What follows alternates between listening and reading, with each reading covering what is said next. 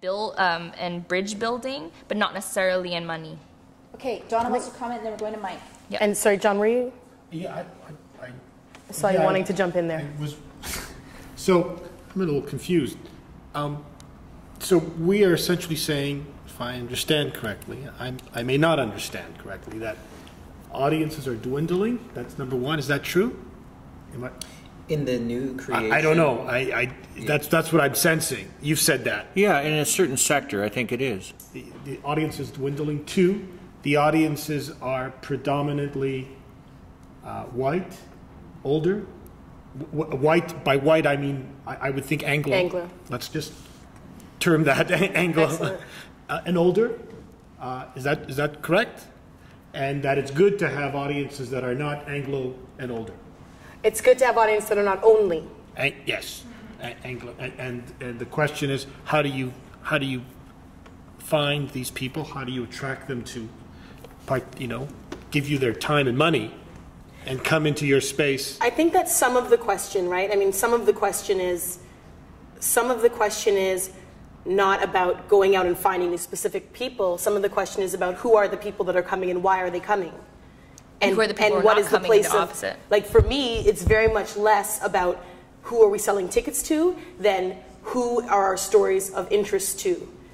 You know, um, our, for me, it's more if uh, we make our stories relevant and make it clear that they are relevant, people will come because people need that, as opposed to how can I get your ticket price today? That's, I think they're two different thoughts. Yes. yeah, yeah. Entirely. Now, now I, I would venture that you know, life changes all the time, society changes all the time, uh, and what used to be of relevance to audiences 20 years ago is not as relevant anymore. So obviously there, there is a change. As well, people, I mean, even the curriculum of what people are studying, students are studying in high school, is, is changed and uh, you know there, there isn't as much of a it's it's it's all changed. It's all changed. So obviously people don't have even the background to appreciate or even understand or even uh, get get to certain stories. So so the, And is that the kind of theater we still need to make? Like, I wanted to get to diplomatic immunities to talk about a different kind of performance. But, but there's a mic up there and a woman with a mic who wants to ask a question or say something. To bring it back to something that was said earlier in the evening about young audiences and how what happens to them between they go see theater as children and then something happens by the time they hit teenage years where oh is this a movie? Like what has happened in between there? And I think um, I think part of it is just when you're a kid you believe in magic.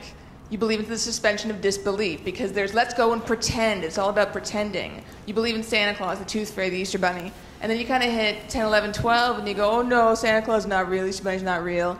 And you have technology also brought into your world with the internet, with iPods, and with movies that are so, to me, the opposite of theater in terms of suspension of disbelief because it's look at our new special effects. Doesn't this look real? Doesn't this look amazing? Whereas to me, the best, some of the best theater I've seen is two actors, two chairs on a stage, and that's it. So, I mean, it's kind of a bit of a rhetorical question, but how do we get kids at a certain age before they hit teenage years to keep believing in magic and wanting to go to the theater to see live people and to pretend again.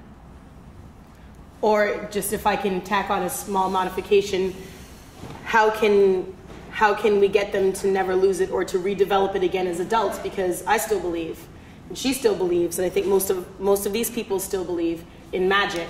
I live for magic. That's what I always ask for when I go to the theater. If someone says to me, "Will you come see my show?" I say two things: Is there any kissing? Because that's gross. and is there magic? Because I need that, or I will not come. okay but it's number one question though is there any kissing It's gross. Uh, I have a theory about, about young audiences that's not very popular. Uh, that kids kids love the theater for exactly the reasons that, that you, you say. It is it is it, it, it it's living in their imagination, and, and they love that.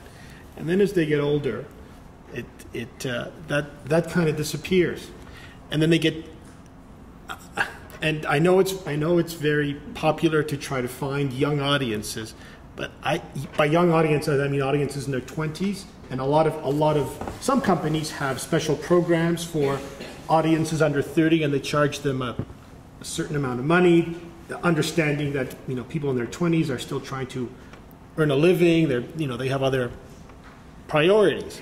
And I, I think that's, that word is the key, is, is a, is a priority. I think, I don't know that, and I, the, the, the people in their twenties, I know if you were to, if you were to say to them, okay, you have so much money, do you want to go to a club and spend it, or you want to go to the theater? Club. They will go to the club.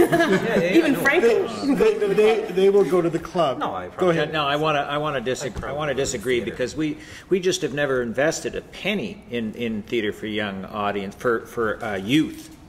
Like if you go, if, if, you know, if you go, if you go down to the Princess of Wales, my mom used to love going down to the Royal Alex before the Princess of Wales because she could have dinner, she could park her car, go up, have dinner, walk out, go in, see a show, get her car, and drive home. That whole setup was designed perfectly for her.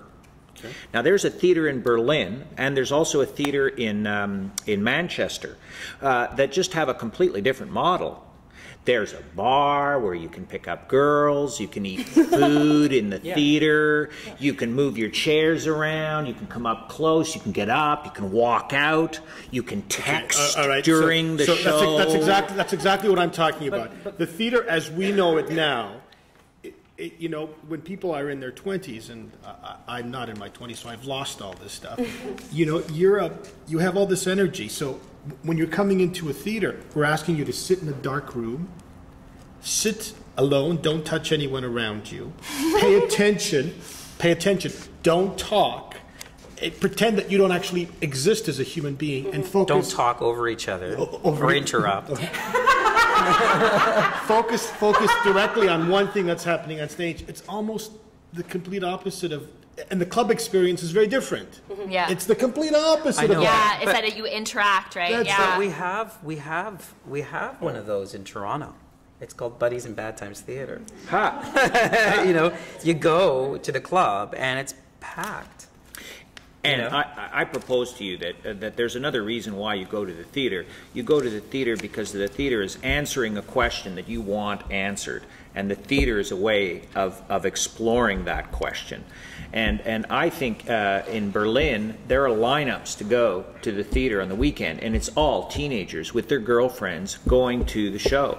And uh, um, in Germany, there are tons, it's, it's just more promoted in a way that young people are going to and the plant the physical plant that they create like buddies is more conducive to that. I mean i think what you're saying is very funny and and and, and uh, but i think there are there is a demographic of young people who really are bored with the club scene who think the club scene is like really hideous and they'd love to go to have a different kind of environment not the Royal Alex necessarily, but something like Buddies, more like Buddies. I actually, I just, I had a conversation with David Abel about Rocky the Horror. Rocky Horror Picture Show, which they did differently because they did midnight shows. Yeah. and they had beer. You could take beer into the theater and whatnot. And I think we've been talking about this a little bit, different ideas about you know about that. But um, That's what we're doing next. The Rocky Horror Tomson Highway. Dry Lips ought to move to the Rez Sisters. Dry Lips show. on to the nightclub. Bring your bannock. But we were talking about it because I was calling the. I mean, not to be disparaging, but just to identify what we're doing, which is that we're changing. Some of us are changing the experience. And my my question was by bring by doing a midnight show, by bringing beer into the theater, by serving We're nachos. changing the Are you putting a prize in the Cracker Jack box that makes the prize not theater?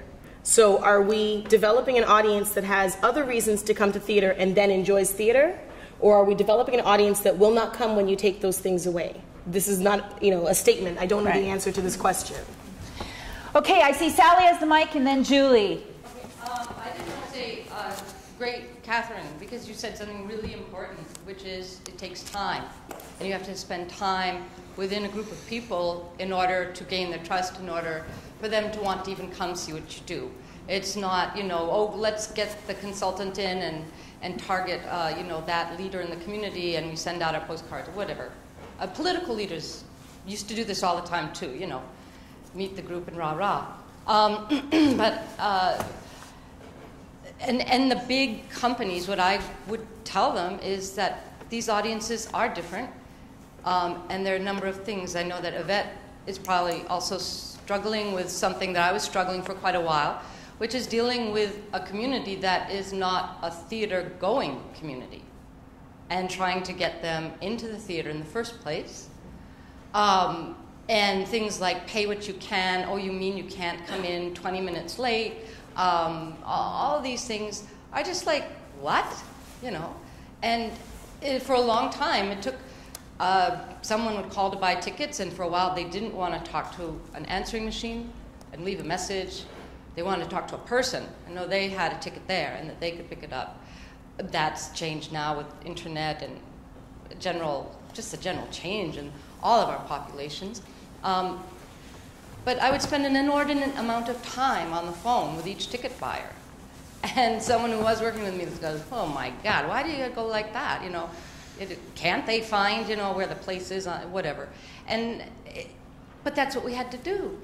And now, you know, and, and our audiences do behave differently sometimes. If anybody was in Factory Theater recently with uh, A Drop of Blood, you know, um, Jon Kaplan came and I had warned him that, you know, it would be kind of crowded for the pay what you can and stuff. And he just said, thank you. This is so much like European theaters. There's family here, there's all age groups, and people are wailing, they're shouting, they're doing everything. And, and so, uh, no, I mean, what we do on stage isn't all that bad. But if you're really rigid and institutional about how you approach people, if you want to bring people in, you do have to meet them too and, and get to know them as well as um, whatever. Yeah. Thanks. While the microphone travels with Mike, I will. Uh, I just want to throw in that I, th- I think I'm dealing with another thing as an Aboriginal theatre company, which is political with a small p. And in Franco's case, that's like a good thing, but when it's attached to First Nations, it's not necessarily a good thing because one of the things that we face at Native Earth all the time is is oh it's going to be victim theater. Oh it's going to be whiny theater. Oh it's going to I'm, they're going to shake their finger at me and they and we may but that's not necessarily the work we're doing. Um, we actually wait you come here come here to shake our fingers. One of the things we're trying to do at Native Earth is show the breadth of the work contemporary Aboriginal practice to anyone who will come.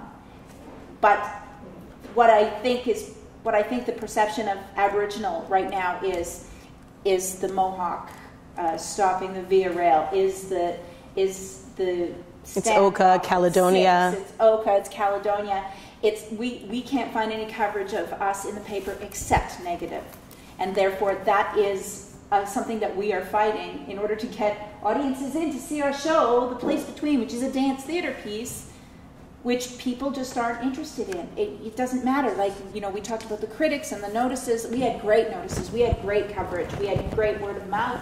We had no audiences. So.